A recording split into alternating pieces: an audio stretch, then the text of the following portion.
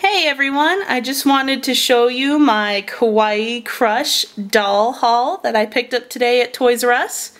And I wanted to see what you would like to see in the future, what you would like me to review, what you'd like to see closer, um, which one you'd like to see first if you want to see them all. Um, I want your opinion. I want to see what you guys want to see. Or I could just review them all. I mean, I would be cool with that. I'm really excited to open all these. Um, to start off with, I have Amanda Panda Pop. And I did a video on Owlina Hoot Hoot, which is in the same collection as this one, the Cuddly Pet Collection. So if you want to see a video similar to this, go ahead and check out my Owlina Hoot Hoot video that I've done before. But let me show you a close-up.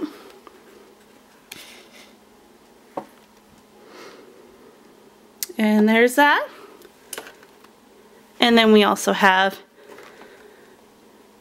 Mandy Candy Dot Dot kind of a candy set, a bigger set. And then we have this set that I talked about in my first Kawaii Crush video. It's the peanut butter and jelly set I mentioned. This is the BFF pack. It's a slumber party pack.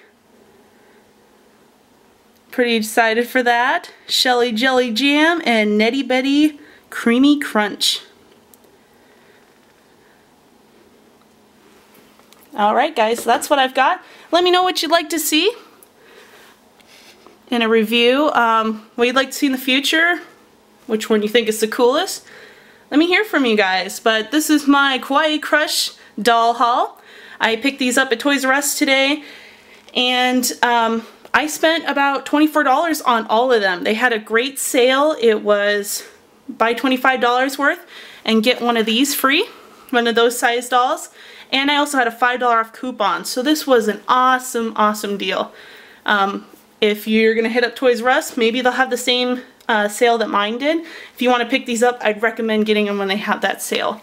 So I'll see you guys later. Let me know what you think. Please like, subscribe. I would really appreciate that. And comment let me know what you think. I'll see you guys later. Bye!